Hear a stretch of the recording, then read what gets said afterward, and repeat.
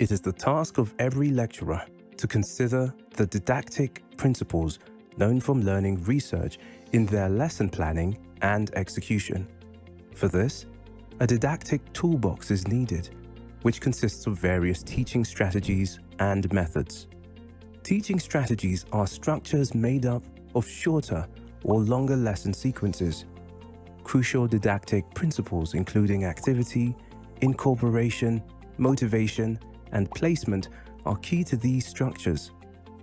Established teaching strategies are, for example, the sandwich teaching strategy, expository learning model, cognitive apprenticeship, and project strategy.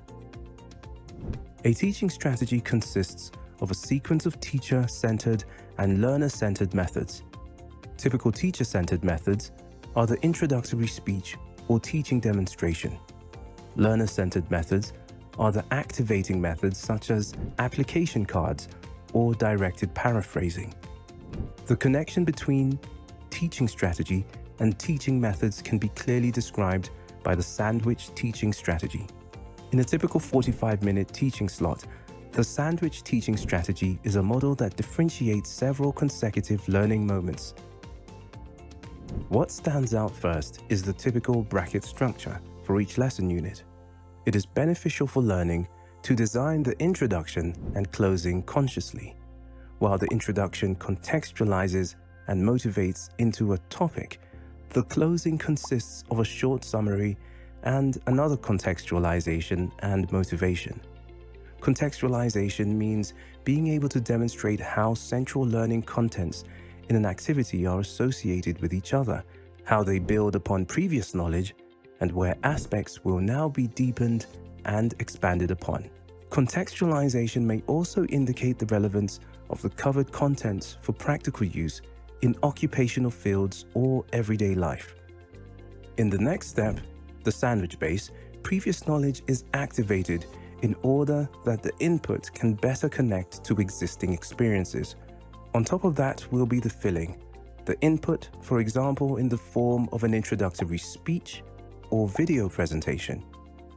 The sandwich top represents the crucial sequence of assurance of learning achievements after a received input. The unit closes with the second bracket, the conscious closing of the event. The methodical arrangement of the sandwich architecture might look as follows. The presentation method is commonly used as an introduction. Here the contextualization may be some form of advanced organizer or visualized learning map. Previous knowledge might be activated by using a survey method such as Mentimeter or Kahoot. The input sequence is often achieved in form of an introductory speech from the lecturer. Ideally, an introduction should not take longer than 20 minutes. As an assurance of learning achievements, the applications cards method could be used. The closing sequence is once again created by the presentation. Activating methods are learning tasks that encourage students to draw upon previous knowledge, and they should include an assurance of learning achievement. The competencies the student is supposed to train or practice is substantiated by the verb. For example, the ability to name, explain, apply, or rate something. For a teaching slot of 90 minutes, the double sandwich can be applied, which means the sequence activating previous knowledge, input, assurance of learning achievements is performed two times, interjected by a moderation sequence. If a longer appliance phase is used instead, we are implementing the expository learning model. Sandwich strategy and expository learning models are commonly selected teaching concepts because they are applicable online or face-to-face -face independent of the group size. For other teaching strategies, such as cognitive apprenticeship or the project strategy, group size is often the only limiting factor.